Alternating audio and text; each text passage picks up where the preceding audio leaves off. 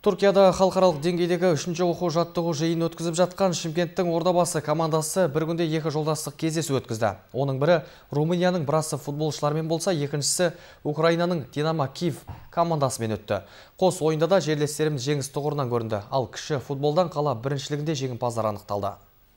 Футболдан Қазақстан чемпионатының премьер-лига командалары арасында өнер көрсететін Шымкенттің Ордабасы командасы түрік жерінде үшінші оқу жаттығу жұмыстарын жан-жақты пысықтауда.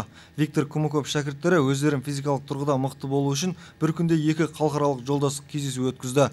Бірінші кездесуде Румынияның Врасов теңбілдоп шеберлерімен кездесіп бірден нөл есебімен жеңіске жетті. Ойынның 25 минутында команда капитаны Қайрат Әшірбеков голдың авторы атанды ал екінші кездесуде украиндық динамо киевтің қосалық құрамасымен кездесті. 67 минутта динамо киевтің ізбасарларын қапы қалдырған мұхтар мұхтаров жарады. Ал шымкенттегі жоғары спорт шеберлері мектебінде кіші футболдан қала біріншілігі аяқталды. Нөмірі 13 қалалық спорт ойын түрлері мектебінің жетекшісі бауыржан бейсеновтың бастамасымен биылғы қазақ хандығының құрылғанына 550 жыл толуына орай жарыс өтті.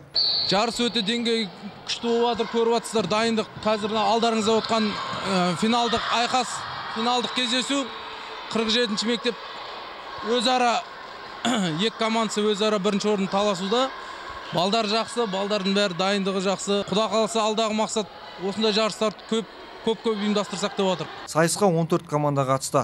Өзара шеберліктерін байқаған доп додасында бас жүлдеге ие болған облыс орталығындағы нөмірі 47 төлеген тәжібаев атындағы мектеп гимназиясының оқушыларының бірінші командасы жеңімпаз атанды.